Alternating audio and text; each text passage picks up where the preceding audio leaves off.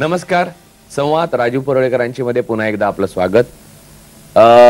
मागच्या रविवारी संवाद राजू परोळेकरांची मध्ये श्रुती सुगवेकर यांच्याबरोबर जो आपण संवाद साधतो तो आज पुढे चालू ठेवणार आहोत. श्रुती इथे एक प्रश्न असा आहे की तुम्ही एन एल पी म्हणजे न्यूरोलिंग्विस्टिक प्रोग्राम हिलिंग आणि सेल्फ हिप्नोसिस या तिन्हीमध्ये मास्टर्स अ, संप- मास्टर्स जो- जे मास्टर्स आहेत त्यातल्या तुम्ही एक आहात. या सगळ्याचा मेळ साधून तुम्ही इंडस्ट्रीमध्ये म्हणजे औद्योगिक क्षेत्रामध्ये मोठ्या प्रमाणावर बदल करण्याकरता काही गोष्टी सुरुवात केलेली आहे. नेमकी त्याची त्याचं स्वरूप काय आणि ते कशा प्रकारे केलं जातं आणि त्याचे परिणाम काय दिसून येतात? उदाहरणाने देते अर्थातच. अगदी उदाहरणाने द्या म्हणजे काय सोपं होतं? हा कारण माझ्याकडे एका बँकवेट रेस्टॉरंटचं मॅनेजरच्या लेवलचं त्यांच्यासाठी टीम बिल्डिंगसाठी मला इन्क्वायरी आली होती की तुम्ही त्यांचं टीम बिल्डिंग कराल का? N L P base training neuro linguistic programming च्या बेसिसवरती म्हणजे त्याचा एक बेस धरून ट्रेनिंग वेगळ्या पद्धतीने करता येतं आणि नॉर्मल आपण जे सॉफ्ट स्किल करतो ते वेगळं असतं. तर मी त्यांना म्हटलं की ठीक आहे मला फक्त तुमच्याशी येऊन बोलायला लागेल आणि जे कोण रिलेटेड आहेत म्हणजे मॅनेजर्स तर मला प्रत्येकाशी इंटरॅक्शन करण्याची गरज आहे. तर त्यांचं म्हणणं पडलं की टीम बिल्डिंग करायचं तर तुम्हाला कशाला म्हणजे प्रत्येकाशी कशाला भेटायचं किंवा म्हणजे त्यांना ते लक्षात नाही आलं की मला का भेटायचंय? तर मी त्यांना म्हणलं टीम बिल्डिंगचं एक आणि त्यांना हाफ डे पाहिजे होतं म्हणजे अर्धा दिवसच त्यांना पूर्ण दिवसाचं हे नव्हतं करायचं. कारण बँकवेट म्हटल्यावरती त्यांचे ते खूप बिझी असतात मॅनेजर्स वगैरे. तर मी त्यांना म्हटलं की ज्या वेळेला तुम्ही अर्धा दिवस करता त्यावेळेला म्हटलं मला एक तीन सेशन्समध्ये त्याची गरज लागेल. म्हणून मग मी त्यांच्याशी बोलायला गेले. मी त्यांना आधी एक तर मेलवरती पाठवलं होतं सगळं पॅटर्न की कसं मी घेणार आहे. त्याच्याने ते खूप इम्प्रेस झाले. आणि ते म्हणले की नाही मला तुमच्याशी भेटायचंय आणि बोलायचंय त्याच्यामध्ये डिटेल तर मी मग त्यांचं त्यांची जी कोर टीमची मीटिंग असते त्यावेळेला त्यांनी मला बोलवलं. आणि तेव्हा मी प्रत्येकाचं स्वॉट अनालिसिस बघितलं. म्हणजे बेसिकली प्रत्येक मॅनेजर मॅनेजरला तिथे येऊन बोलता येतंय का नाही? तो कुठल्या भाषेने बोलतो? त्याची बॉडी लँग्वेज काय आहे? तो कसा उभा राहतो? तो काय बोलतो? ह्याच्यानी खूप गोष्टी कळतात. कारण हे न्यूरोलिंग्विस्टिक प्रोग्रामिंगमध्ये फिजिओलॉजी म्हणजे बॉडी पॅड म्हणजे नॉन व्हर्बल कम्युनिकेशन ज्याला म्हणतो ते खूप चांगल्या पद्धतीने कळतं. आणि त्यावेळेला मी प्रत्येकाशी बोलले. आणि मग मी त्यांना असे तीन दिवसांचे हा अर्ध्या अर्ध्या दिवसाचे मी त्यांना हे दिले वर्कशॉपचे पॅटर्न्स दिले करून. तर त्याच्यावरती त्यांचा असा प्रश्न होता की नाही आम्हाला फक्त टीम बिल्डिंग पाहिजे पण. तर मग मी त्यांच्याशी त्या ह्याच्यावरती जे बोलले तर मी त्यांना म्हणलं की टीम बिल्डिंग जेव्हा असतं त्यावेळेला की चौदा जण होते ते मॅनेजर्स मी म्हटलं ते चौदा जण जेव्हा एकमेकांबरोबर काम करतात त्याच्या आधी अत्यंत गरजेचं आहे की त्यांनी स्वतःला ओळखणं की मी काय आहे मला काय पाहिजे मा मला केव्हा राग येतो मला केव्हा वाईट वाटतं मला केव्हा आनंद होतो. या गोष्टी त्यांना माहिती आहेत का? कारण म्हणलं त्यांचं मी स्वॉट अनालिसिस जेव्हा बघितलं तेव्हा ही गोष्ट कोणालाच माहिती नव्हती. की मला काय होतं नक्की? मला आता राग आलाय तर मी काय रिॲक्ट करायला पाहिजे? जर रिॲक्ट करणं आरडाओरडा करून सगळ्यात सोपी गोष्ट आहे. पण स्वतःचा राग आपण थोडासा खाली घेऊन समोरच्या माणसाची जेव्हा आपण विचार करून आपण जेव्हा दोन मिनिटं मग त्यावेळेला परत ब्रिदिंग पॅटर्न्स येतात. की तुम्ही शांत उभं राहून ब्रिदिंग केलं की तुम्ही आपोआप तुमचा राग कमी होतो. आणि मग तेव्हा मी त्यांना सांगितलं की माझे हे तीन पॅटर्न्स का आहेत? कारण पहिला वर्कशॉप होईल तो सेल्फ अवेअरनेसचा होईल. त्याच्यानंतर दुसरा होईल तो इंटरपर्सनल रिलेशनशिपचा होईल आणि मग तिसरा टीम बिल्डिंगचा होईल. याचं कारण एवढंच आहे की जर का टीममध्ये जेव्हा दहा लोक काम करतात तर एकमेकांशी कसं वागायचंय किंवा काय हे नॉर्मल पॅटर्नमध्ये ते वागतच असतात. पण स्वतःच्या सगळे गुण दोष जे काय आहेत ते जाणून आपण जेव्हा स्वतःबद्दल अवेअर असतो की मी ह्या सिच्युएशनमध्ये कशी रिॲक्ट करणार आहे? मी ह्या सिच्युएशनमध्ये कसं रिॲक्ट करणार आहे? हे जोपर्यंत प्रत्येकाला माहिती नसतं तोपर्यंत तो माणूस इंटरपर्सनल रिलेशनशिपमध्ये उतरू शकत नाही आणि मग तसंच पुढच्या बाजूला की टीम बिल्डिंगमध्ये पण नाही जाऊ शकत. तर जेव्हा सेल्फ अवेअरनेसचा जेव्हा वर्कशॉप केला म्हणजे तेव्हा एक खूप गंमत घडली कारण माझ्याकडे प्रेझेंटेशन होतं साधारणतः अकरा स्लाइड्सचं आणि मी एक पहिली स्लाइड घेतली होती. त्याच्यात फक्त स्वतःबद्दल बोलायचं होतं. आणि म्हणजे स्वतःबद्दल स्वतःचं पूर्ण नाव आपल्याला स्वतःला काय आवडतं स्वतःला काय आवडत नाही आपल्याबद्दल नॅचरली आणि जर का मी आज इथे आहे तर मी इथे जर का आज नसतो तर मग मी कुठे असतो? तर बेसिकली ह्याच्यात काय होतं की ह्या क्रायटेरियाजमध्ये प्रत्येक गोष्ट स्वतःबद्दल होती. की मला काय आवडतं मला काय आवडत नाही. ज्या गोष्टी नॉर्मल आपल्या धक्काधक्कीच्या जीवनात आपल्याला वेळ मिळत नाही विचार करायला. आणि शेवटचं की मी जर का इथे नसतो तर कुठे असतो? आणि ते ते प्रश्न तुम्हाला सांगते अर्ध्या दिवसाचं वर्कशॉप होतं. साडेतीन तास चौदा लोक फक्त त्या चार प्रश्नांवरती उत्तरं देत बोलत होते. त्याच्यात अर्धा अर्धा पाऊण पाऊण तास बोलत होते. आणि इतक्या वेगळ्या वेगळ्या गोष्टी त्यांच्या कळल्या कारण त्याच्यात त्यांचे छंद कळले त्यांना काय आवडतं ते कळलं. मग काही काही लोकांना की पायलट व्हायचं होतं काही लोकांना स्वतःचं रेस्टॉरंट काढायचं होतं. हे असे वेगवेगळ्या गोष्टी जेव्हा कळल्या तेव्हा त्यांचा सीईओ माझ्याकडे येऊन मला म्हणला की तुमच्यामुळे आज म्हणे मला माझीच लोक वेगळ्या पद्धतीने मी ओळखू शकतोय. आणि मग मी ते सेल्फ अवेअरनेस झाल्यानंतर सेकंड हे होतं की मग इंटरपर्सनल रिलेशनशिप वरती की तुम्ही एकमेकांशी कसे वागता? मग मी त्यांना रोल प्लेस करून की अशी अशी सिच्युएशन आहे त्या ह्याच्यात तुम्ही एकमेकांशी कसे वागाल? किंवा जर का क्लायंट तुमच्याकडे हे आलेत कस्टमर आलेले आहेत आणि तिथे बसून तुम्हाला सपोज सांगतंय की तुम्हाला एखादी डिश आवडलेली नाहीये तर ती तुम्ही कसं त्या ह्याला तुम्ही कसं सांगाल? चेहरा न पाडता तुम्ही त्याला कसं समजून सांगाल? कारण ते तुम्ही केलेलं नाहीये. मग मनातल्या मनात तुम्ही काय करता की तुम्ही शेफच्या नावाने ओरडता.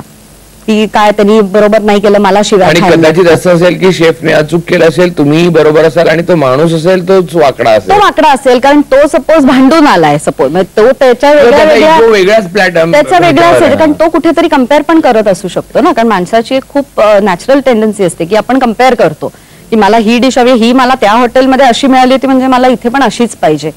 मग त्या सिच्युएशनमध्ये कसं होतं की ते जे ऍक्च्युली कुक असतात त्यांच्या नावानी वेटर्स लोकांच्या मध्ये तो एक हे निर्माण होतो. काही कारण नसतं म्हणजे ही सिच्युएशन जेव्हा होते तेव्हा काय होतं की नाही काय तू असं केलं तू किती खराब केली डिश आणि मला शिव्या खायला लागल्या. हे जे टिपिकल वाक्य असतात ह्याच्यात त्या कुकचा दोष नसतो त्या वेटरचा पण दोष नसतो. पण कारण नसताना काय होतं की ह्यांचं म्हणजे त्या ऑर्गनायझेशनमध्ये हा प्रॉब्लेम क्रिएट होतो त्या कस्टमरमुळे मग अशा सिच्युएशनमध्ये जर का मग मी त्यांना काय सजेस्ट केलं की जे कुक्स आहेत त्यांना पण तुम्ही काही वेळेला वेटर्स म्हणून हे करायला सांगा आणि वेटर्स कारण त्याच्यात मग ते मल्टीटास्किंग येतं.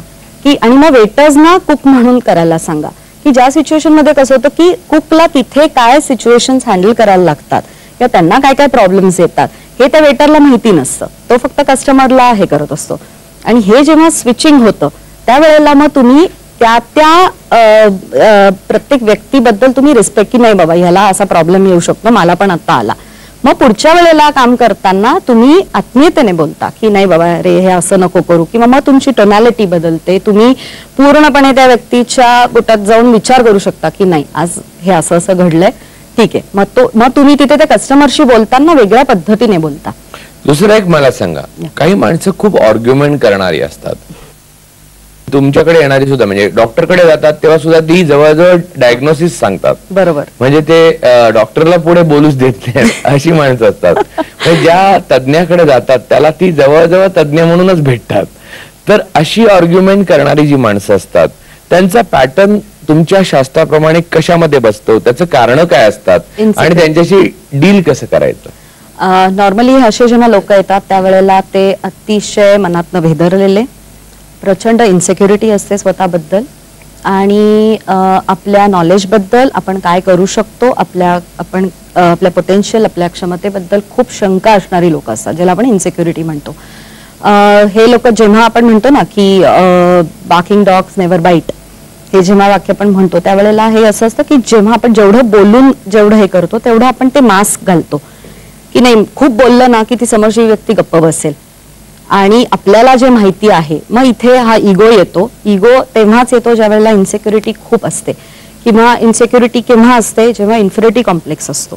की लहानपणापासून आणि याच्यासाठी एज रिग्रेशन हा एक अतिशय म्हणजे इफेक्टिव्ह आणि प्लस जो मला म्हणजे काय? म्हणजे काय? हा तेच सांगते. एज रिग्रेशन म्हणजे कसं होतं की नॉर्मली वयाच्या अ, चौथ्यापासून चौदाव्या वर्षापर्यंत तुमच्यावरती जे आपण संस्कार ज्याला म्हणतो तर ते संस्कार काय? तर चारही बाजूंनी.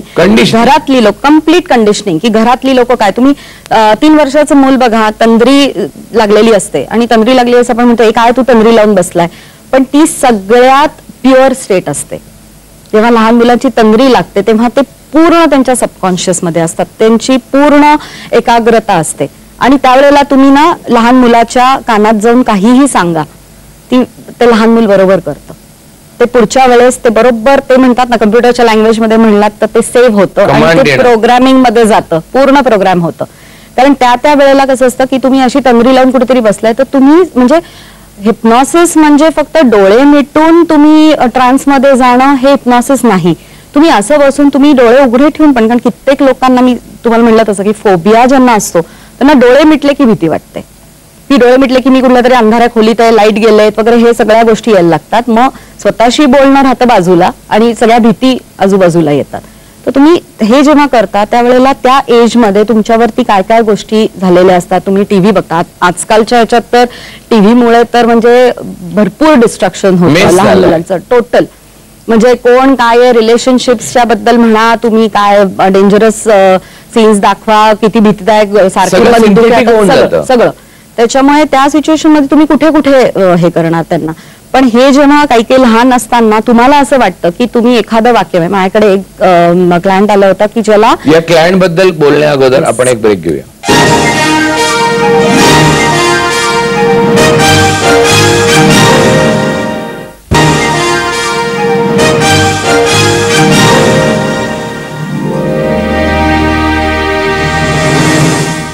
ब्रेक नंतर संवाद राजू पोरळकरांची मध्ये पुन्हा एकदा आपलं स्वागत. क्लायंट आला होता. त्या क्लायंटच्या वडिलांनी त्याला काही वर्षांपूर्वी काही एक चार पाच वाक्य शिव्या घातल्या होत्या. म्हणजे त्याला तो इतका त्याच्यात गेलेला होता की त्याला तो म्हणला मी तोंडातनं घेऊ पण शकत नाही त्या शिव्या. इतक्या बेकार म्हणजे इतक्या खराब हे- शब्दात त्यांनी तो बोलला होता आपल्या मुलाशी. ही सिच्युएशन त्याचे वडील विसरले असतील. पण त्या मुलाच्या मनावरती एवढा त्याचा परिणाम झाला की तो एकतर आज तोंडातनं शब्द काढू शकत नव्हता त्या वाक्यांच्या रिलेटेड त्यांनी मला लिहून दिलं. मी त्याला म्हणलं नाही मला ते गरजेचं आहे. कारण मी तुमच्याशी जसं मगाशी ते स्विच पॅटर्न्स केलं की ते विसरण्याचं ते टेक्निक मला त्यांच्याशी कारण तो ऑडिटरी मुलगा आहे.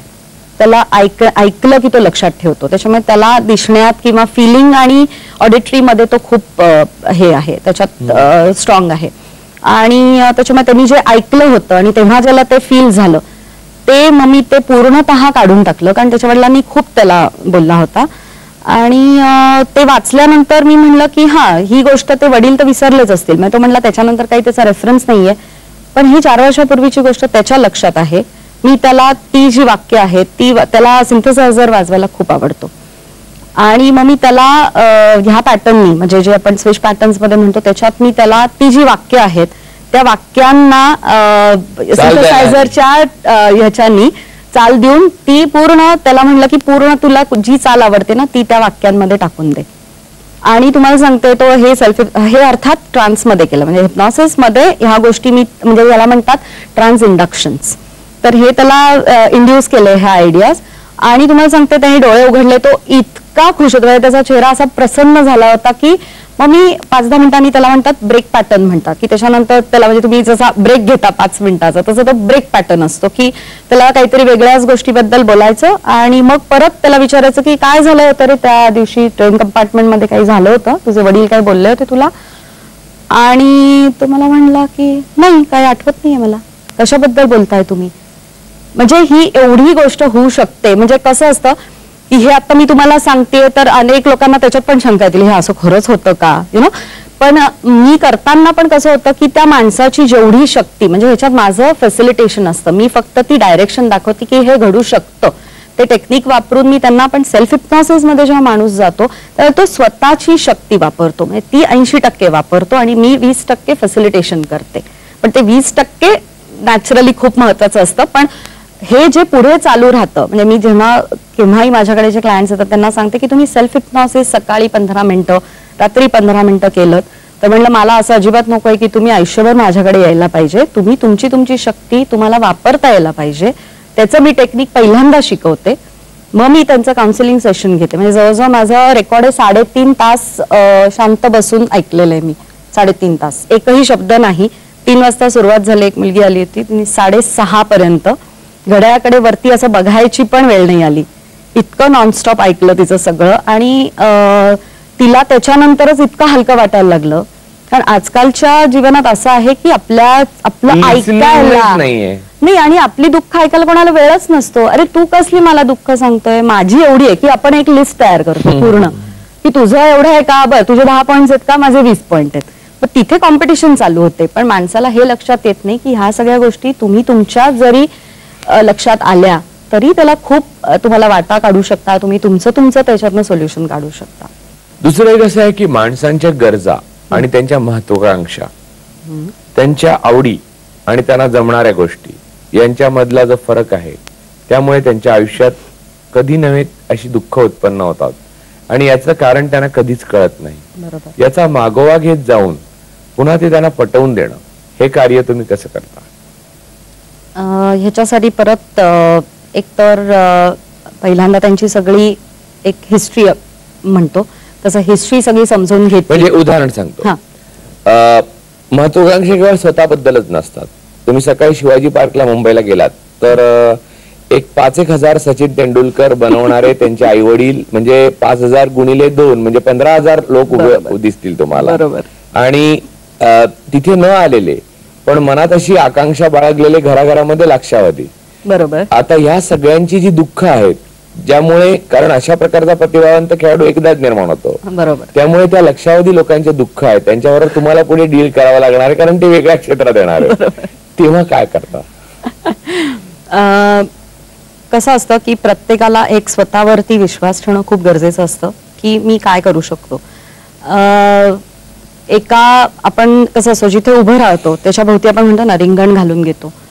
पण आपण जेव्हा आपल्या मनात जाऊन झाकतो जेव्हा आपण बघतो की आपल्याला काय पाहिजे तर तेव्हा एक ब्लँक येतं. म्हणजे एक असं ब्लँक वॉल आलेली असते.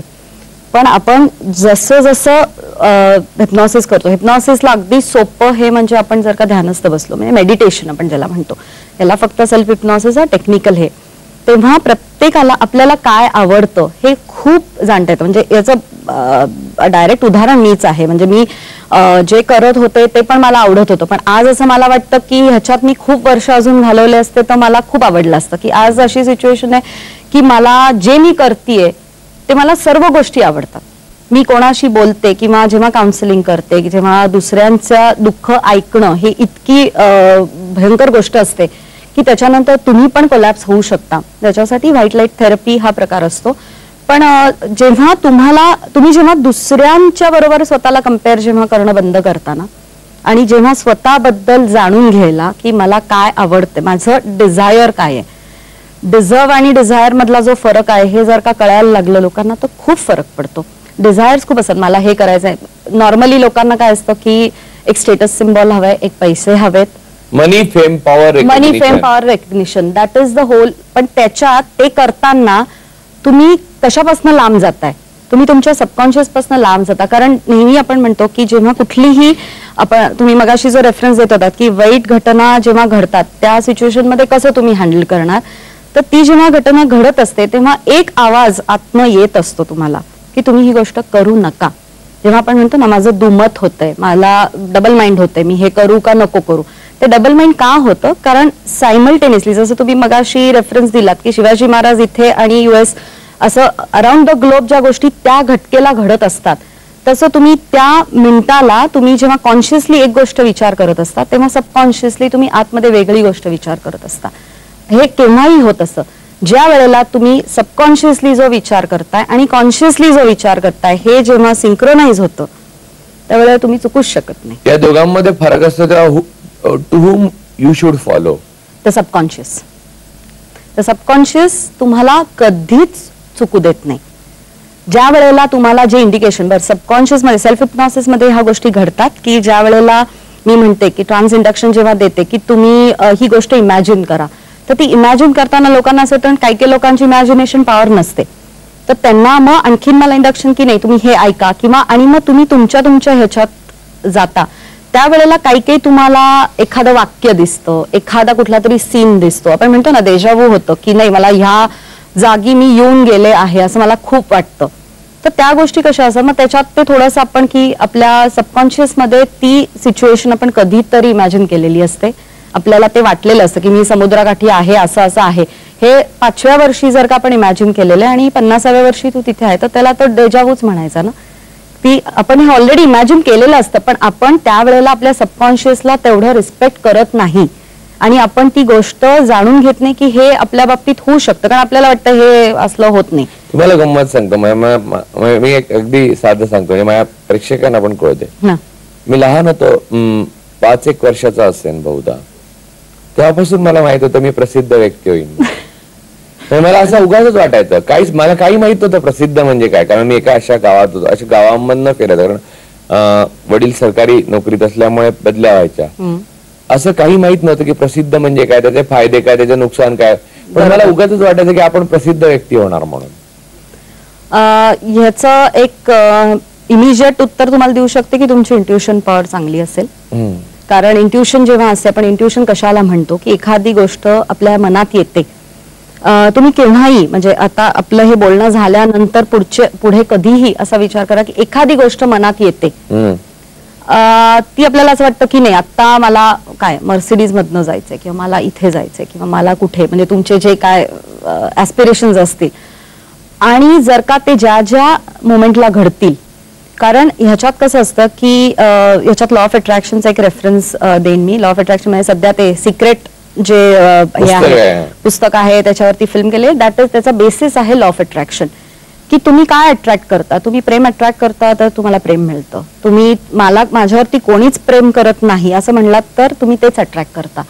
कारण तुम्ही जेव्हा निगेशन असता तेव्हा सबकॉन्शियस माइंडला निगेटिव्ह शब्द कळत नाहीत. मी तुम्हाला अजून एक गमतीशीर गोष्ट सांगतो जी माझ्या प्रेक्षकांनाही मला अनेक लक्षावधी पत्रामधनं विचारली आहे. त्याचं उत्तर मी आज तुमच्यासमोर देतो कारण you are the right person to tell पण त्याच्या अगोदर आपण एक ब्रेक घेऊया.